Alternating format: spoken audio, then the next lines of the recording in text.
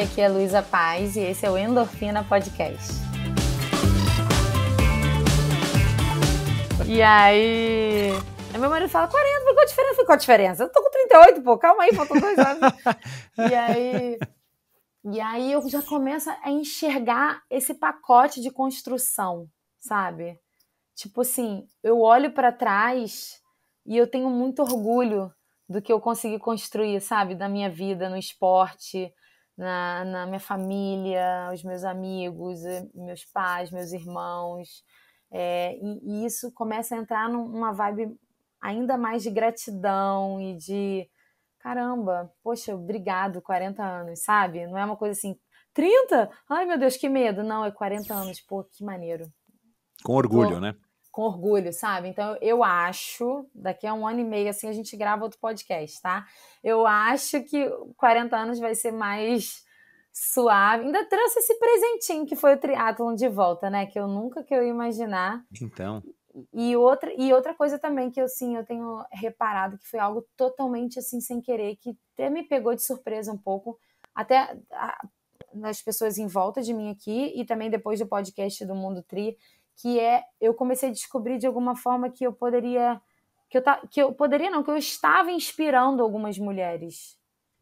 Sabe, por um momento você falou assim, eu inspirar, quem sou eu na fila do pão? Sabe? Mas aí você começa a receber as mensagens, os relatos, né? Porque é, eu não sou de ficar divulgando um relato que uma pessoa me manda no direct e a pessoa não vai mandar isso no público, ela manda porque ela está se abrindo para você. Então você começa a ver uns relatos assim que você fala, nossa, poxa, que legal, sabe? É tão bom isso, Michel. Você, você imaginar que você de alguma forma pode ajudar a mudar a vida de algumas pessoas. E quando o relato vem de homem? Pô, isso é legal.